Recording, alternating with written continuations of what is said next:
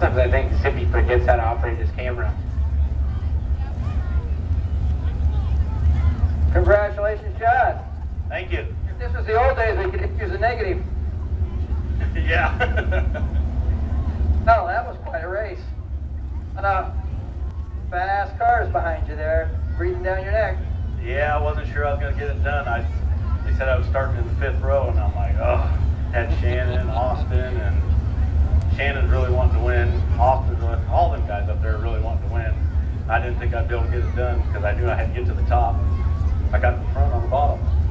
Yes, you did, and then you went up to the top and stayed on the front. So I guess you could have gone anywhere you wanted to and run. Pretty much, this whole car is doing pretty good. Gary McNeely built this car, limited air chassis, done a heck of a job.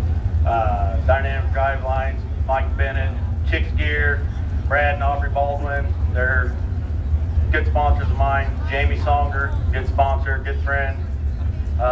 Uh, God, who else do I have on there? Sanborn Auto, America Auto Finance, uh, just a lot of them. And I, have, I really wanted to win this because Morgan's birthday present is this right here. And you know what? girl. You've got you only the only winner tonight that has the car that actually matches the color of the trophy. Yeah, I thought they were ripped when I first come out here. I was like, Congratulations. God bless you, guy. "Ah, thanks, buddy. Come on, Watson, it's time to do your dance. Let's go.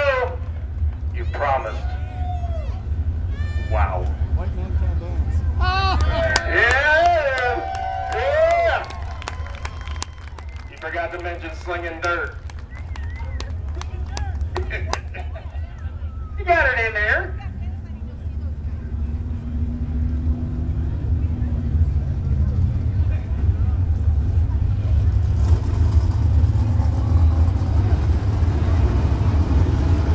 driving the car.